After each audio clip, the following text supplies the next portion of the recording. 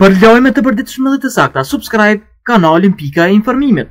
Sipas një njoftimi nga Ministria e Shëndetësisë, Italia ka ndaluar hyrjen dhe kalimin tranzitor të udhëtarëve gjatë 14 ditëve në vijim, të cilët kanë hyrë ose kanë kaluar përmes Armenisë, Bahreinit, Bangladeshit, Brazilit, Bosnjës,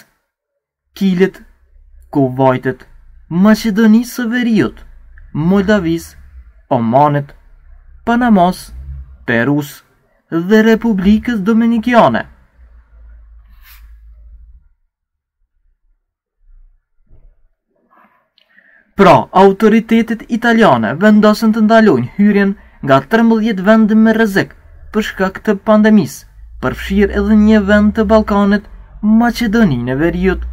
Edhe të gjithë udhëtimet direkte dhe indirekte me këto vende janë pezulluar, derisa të arrihet të përmirësohet gjendja dhe mbrojtja e duhur shëndetësore. Në Itali u shënua mbi 34.000 viktima. Normalizimi i jetës filloi gradualisht. Kufijtë u hapën vetëm për disa vende që nuk kishin shumë raste të raportuara në përputhje me Bashkimin Evropian.